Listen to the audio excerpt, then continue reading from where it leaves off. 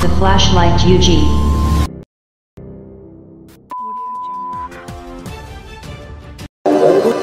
Azerbaijan provided financial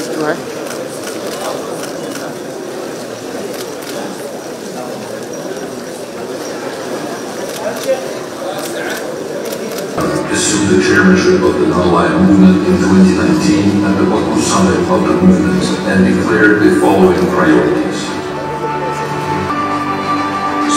Strengthening the growing challenges of contemporary world. Although online summit of the non institutional setup of the non-aligned movements like NAM Parliamentary Network founded in 2022 constitutes an additional assets for promotion of multilateral. The Human Rights Council in October of 2023, the draft international covenant on the right to development was submitted to the UN General Assembly for its consideration. Negotiation and membership in 13 years, bringing the number of member states to 121. These proved the Azerbaijani chairmanship has also attached particular importance to the development efforts of the non-member states, the heads of state and government of now. I propose the distinguished delegation of readiness to extend all the necessary support in this process. Azerbaijan is proud take over a new important international responsibility. Universal, equitable and affordable access to COVID-19 vaccines are being achieved. Wider awareness and development of the value Uganda has deployed security personnel around the city as more delegates stream in for the five-day summit. Major roads leading to the summit venue have been closed to traffic and pedestrians. Media have also been barred from accessing the convention center and a media center created here, some 13 kilometers away. the summit route itself and which is going to be highly uh, uh, guarded or tightly regulated with uh, a number of diversions and holding of traffic and other road users. But of course, the traffic police will take into consideration of all those who will be accessing the Entebbe airport, those who have flights and those who are coming in the country. NAM from its inception was always supportive of the Palestinian people and their struggle. We are the last kid around the block. All of you accomplished your national independence and you put an end to colonialism and you in the African continent succeeded in the remarkable accomplishment of getting rid of apartheid.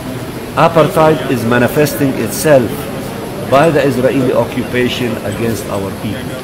And we are still under this colonial occupation by Israel and we see genocide committed against our people, particularly in the Gaza Strip.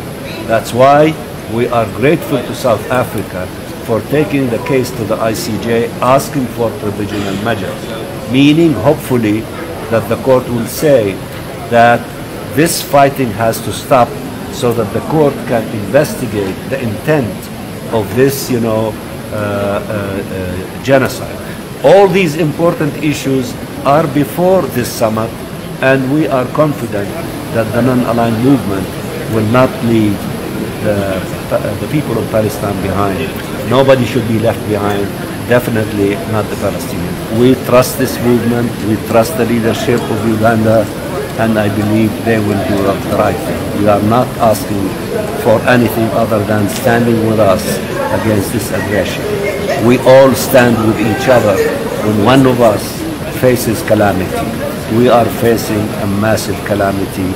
I don't think that it is exaggeration from us to expect support from our brothers and sisters from the movement. If I came up to you and asked you if you're team red or team blue, you might find that an odd question, right? Okay, here's another. What do the leaders of Yugoslavia, India, Egypt, Ghana, and Indonesia from the 1950s all have in common? Well, they all helped create an organization you might remember from your history class, known as the Non-Aligned Movement. The occasion, the handing over of control of the international zone. In the 1950s, these leaders lived in a world that was often seen as divided between states allied to either Team Red, the Soviet Union, and Team Blue, the United States. The Cold War between the two nuclear superpowers was a period of extreme geopolitical tensions. However, many countries from Ghana to India didn't want to get caught up in this great power rivalry and decided to go another way. And I suggest that this conference should call upon the powers of the world to disarm. In 1961, the Non-Aligned Movement had its first summit. Its principles were based on human rights, non-interference, sovereignty, non-aggression, and equality. Essentially, members agreed they wouldn't ally themselves or be involved in defense pacts with either the US or the Soviet Union. They came together to support their country's independence and resist imperialism and colonialism. Notably, many of these members were from developing nations that had recently become independent from colonial rule. Today, it has over a hundred members, but the movement doesn't have a constitution or even a permanent secretariat, unlike other organizations such as the African Union. And its highest decision-making body usually meets once every three years. The actual running of the movement is the responsibility of the country holding the chairmanship. That country also tries to align diplomatic efforts and the UN between members. So with the end of the Cold War in 1991, how relevant is it today? On paper, the non-aligned movement is quite impressive. It's the second largest group of states in the world after the UN and represents more than half the world's population.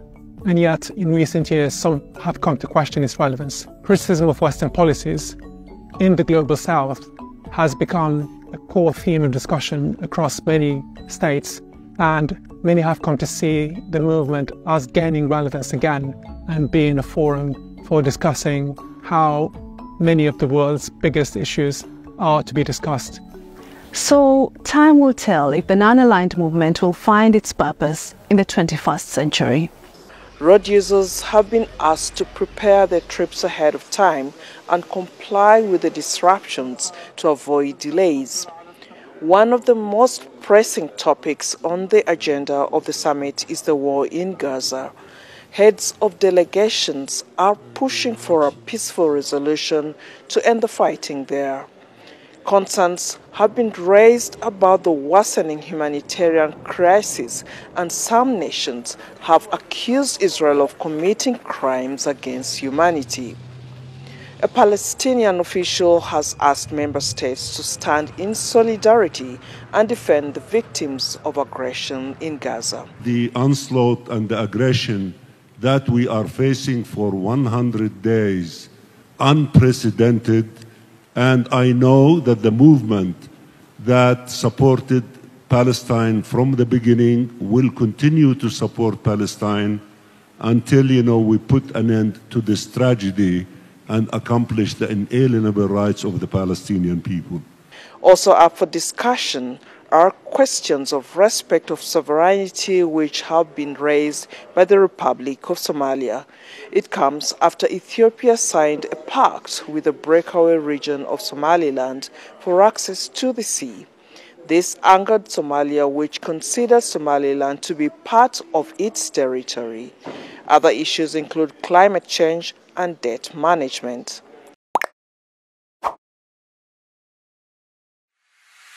Thank you for watching our channel. Please don't forget to subscribe, like, share, and comment.